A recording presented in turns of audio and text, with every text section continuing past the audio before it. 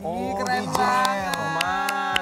Arab tuh buat kalian tuh kalau pengen lihat Oh. langsung langsung aja ke Jerman. Bapak mohon Sampai maaf. November Mohon ditungguin. maaf, Bapak nyuruh ke Jerman kayak nyuruh ke Kemang ya, Pak. Dekat Langsung aja tuh ke Jerman. nggak soalnya kan kita kata kalau misalnya pengen lihat sebelum runtuh karena itu kan pasir kan nggak tahan lama. ya kan jadi oh langsung iya. datang aja sampai November. Lumayan loh lama loh tahannya. Jadi tahu nggak sih, ada ada sebenarnya satu filosofi yang mendalam dari Apa, apa, apa, istana apa? Pasir ini aku ya, bahwa istana setinggi apa pun, sekuat apa pun kalau dibuat dari pasir, ketika terkena ombak dia akan buyar juga. Hancur Demikian ya. juga dengan hubungan. Oh, ya kan ah. kalau hubungan itu terlihat indah di luar tapi tidak dibangun dengan fondasi yang kuat, pasti akan ambiar. Itu bahannya pasir ya?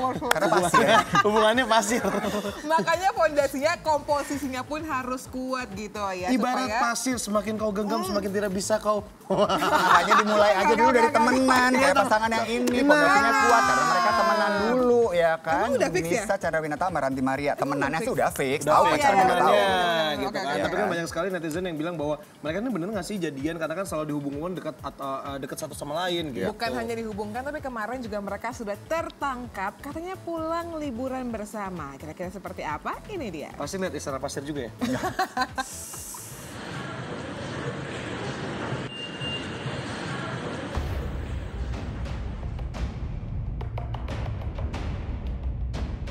Begitulah potret kedekatan aktris cantik Ranti Maria bersama Misha Chandrawinata yang tertangkap kamera tengah menghabiskan waktu di salah satu pusat perbelanjaan pada beberapa waktu lalu.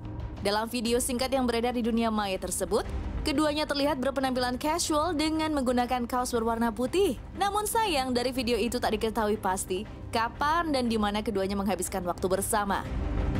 Kedekatan Ranti Maria dan Misha yang kembali muncul ke permukaan seolah membuat publik kembali mempertanyakan status mereka yang sebenarnya. Apakah benar jika keduanya telah berpacaran atau hanya sebatas teman dekat saja?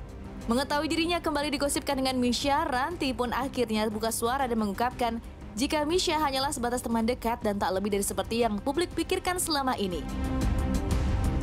Aku sama Misha memang udah kenal lama sih, cuman sampai saat ini kita masih temenan aja sih.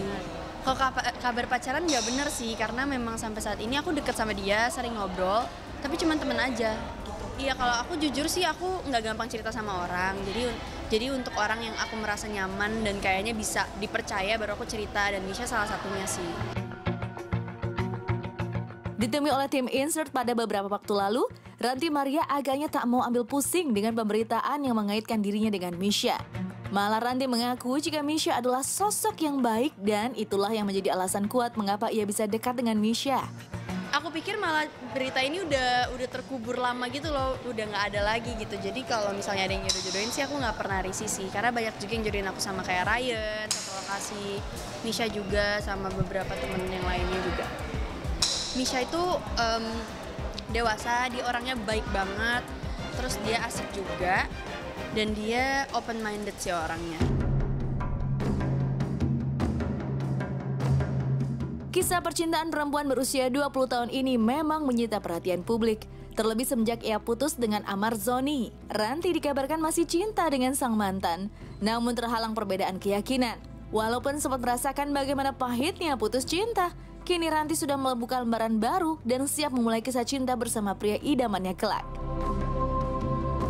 nggak ada sih sama sekali nggak trauma dan takut lagi sekarang. Udah bener-bener happy sama hidup aku. Dan untuk buka hati pastinya pasti aku buka hati. Cuman gimana aku bisa eh, apa ya lebih fokus ke percintaan aku? Kalau setiap harinya aku stripping dari pagi sampai tengah malam gitu loh. Jadi nggak ada waktu untuk ketemu sama eh, orangnya juga. Terus pokoknya semua waktu aku bisa di lokasi syuting kan jadi aku nggak bisa catch up lebih cepat soal itu. Dan sebenarnya bukan prioritas aku banget sih sekarang.